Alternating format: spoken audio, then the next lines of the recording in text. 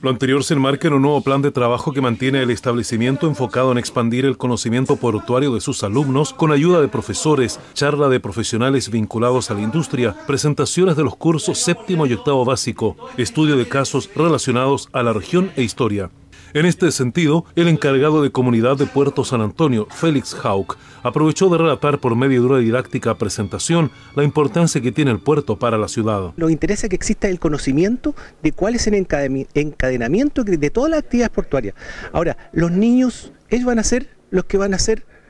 los portuarios del futuro, los ciudadanos del futuro. Entonces nos interesa que conozcan muy bien todas las actividades portuarias. Y la escuela la Villa Las Dunas, tanto su, su, director como su equipo docente, hemos encontrado una muy buena acogida, así que por eso estamos muy entusiasmados con esta actividad que está programado en la Escuela Villa Las Dunas. Por su parte, el profesor y encargado de gestión del Colegio Villa Las Dunas, Leonardo Torres, comentó que lo anterior permite proyectar un taller con el puerto, lo que es ampliamente positivo para la comunidad educativa. Hemos hecho una alianza estratégica con Puerto San Antonio, en que vamos a hacer una serie de foros, charlas, que ya empezaron el día de ayer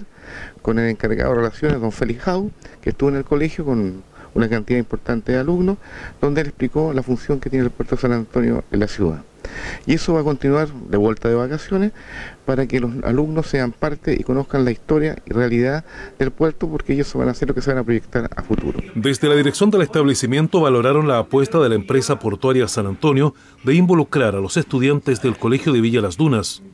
Su director, Jorge Acevedo, dijo que esto beneficia con un mejor conocimiento que se puede ampliar a otras áreas. Esta zona, que es eh, eminentemente portuaria, nuestros alumnos sepan el contexto en el que nace el puerto de San Antonio, los objetivos y cómo ha ido creciendo en el tiempo, porque son ellos los que están llamados